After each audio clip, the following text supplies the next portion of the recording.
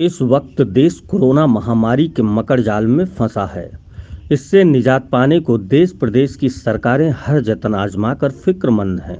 वहीं तमाम ऐसे लोग भी हैं जो संकट की इस घड़ी में लॉकडाउन को ताक पर रखकर मुनाफाखोरी घर तौली कर अपना उल्लू सीधा करने में जुटे हैं।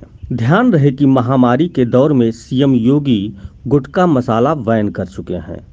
अब तो सरेराह थूकने पर भी जुर्माना का ऐलान हो चुका है, जबकि थूकने की जड़ गुटखा बिक्री पर कोई रोक टोक प्रभावी नहीं लग रहा है।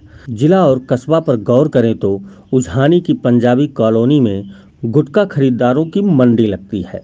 इस इलाके में रह रहे स्टाकिस्टों के घरों के सामने का वीडियो वायरल हो रहा है।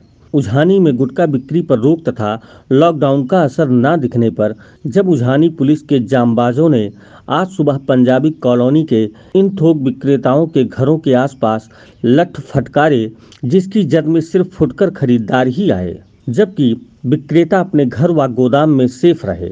गुटखा के जरूरतमंदों की माने तो पाबंदी लॉकडाउन के दौर में 125 रुपए वाला गुटखा 320 रुपए तक पहुँच चुका है।